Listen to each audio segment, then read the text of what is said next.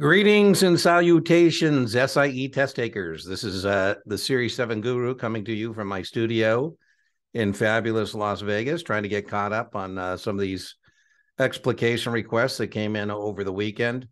I'll make my way through them over the uh, course of uh, the next 24 hours or so.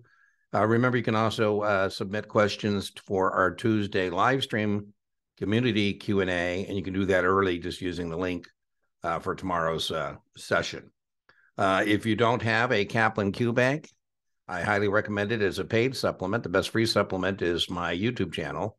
But if you need a paid supplement uh, with the Guru 10 discount code at checkout, you can get this for about $44. I think it's $44.10.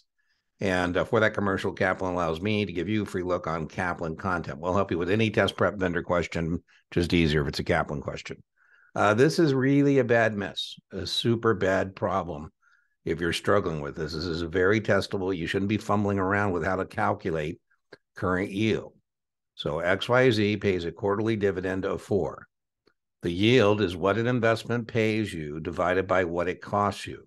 So the first thing we got to do is figure out, well, that quarterly dividend is going to be $4 a year. And so the way we get current yield is we take the annual dividend, which in this case is $4, and we're going to divide that by what it costs us, which in this case is $160.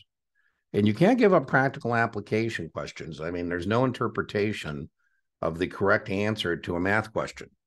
So now I'm just going to take the $4.